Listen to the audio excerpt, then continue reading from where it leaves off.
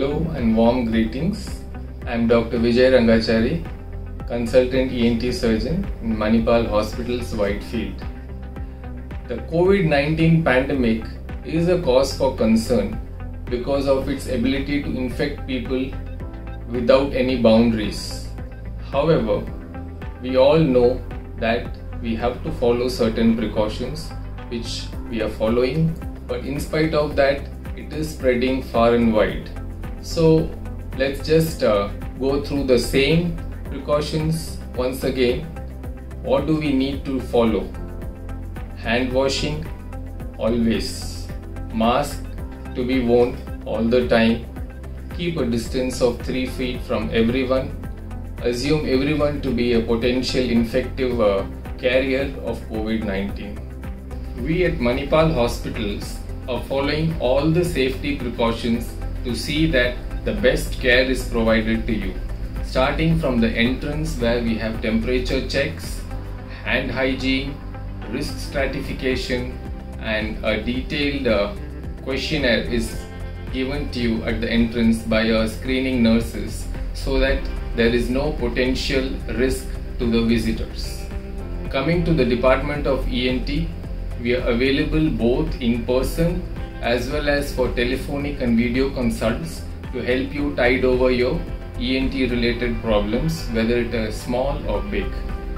We are also performing ENT surgeries after all precautions, complete investigations, including a thorough checkup and advising a pre-operative risk stratification and also doing a pre-operative COVID test to see that there is no risk to you during the surgery or after the surgery. We are also informing all necessary precautions which have to be followed after the surgery.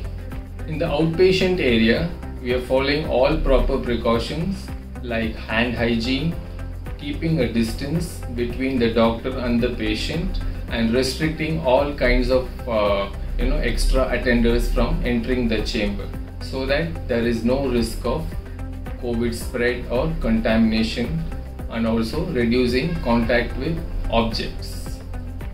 All surgeries are done with proper screening, proper risk stratification and pre-operative COVID test, all kinds of routine investigations and proper anesthesia fitness to see that there is no risk and there is no you know breach of any kind of protocol strict international protocols are being followed at all stages to see that the best care is provided to you before, during, and after surgery.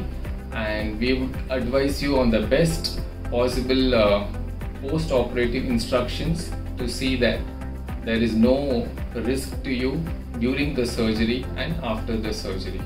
So, stay safe, take good care of yourselves and don't hesitate to ask us for help if you have any issues where we can help you out. Take care and have a good day.